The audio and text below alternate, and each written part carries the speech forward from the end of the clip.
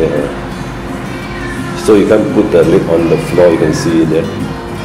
This is called not bearing weight. Not bearing weight, that means the, the leg is up. The, the right, right hind is bearing. So if it's bearing weight, then it will come down. So this shows that it's quite serious. Uh. A Be Kind to Pets veterinary educational video sponsored by Toa Payoh Vets. Hip dislocation in a border collie. The right hind leg is dislocated upwards and forward.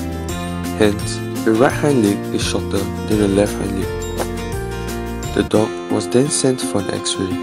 From the x-ray image, we can see the dislocated right femoral head. The x-ray image also shows that the right femoral head is out of the hip joint. There are two methods to treat a hip dislocation. The first is the closed reduction method, which is the maneuvering of the femoral head back to the acetabulum. And the second is the open reduction method, which is the surgical removal of the femoral head. Closed reduction method. Step 1. Grasp the affected leg with one hand and under the affected leg with the other hand. Step 2. Externally rotate the limb and pull it such that the femoral head is positioned over the acetabulum. Step 3. When the femoral head lies lateral to the acetabulum, internally rotate the limb so that the femoral head is within the acetabulum. Open reduction method. Step 1. An incision is made directly over the summit of the great trochanter. The skin is then retracted widely and the underlying muscles can be seen. Step 2.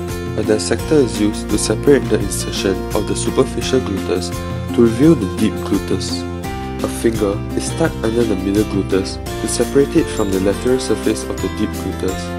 Then, both the middle and deep gluteus are detached from the insertions to reveal the femoral head. Take note not to touch the sciatic nerve or else the dog might be paralyzed.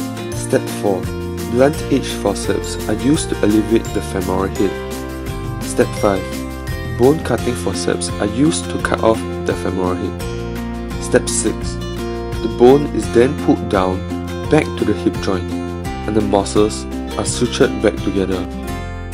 For this border collie, the owner decided to use the open reduction method to treat the dog. After the surgery, we can see that the wound has been sutured back together and we can also see the femoral head which has been cut off. Liston's bone cutting forceps was the instrument used to cut off the femoral head in this border collie. With the right hip has been femoral has been excised and uh, has been given his medication, pain, painkillers and antibiotics this morning. Operation was done yesterday afternoon to remove the femoral head. So now the dog will be given an E-collar medication and goes home. In conclusion, the open reduction method is a more effective method than the closed reduction method to enable the dog to walk normally again, which may take up to 4 weeks.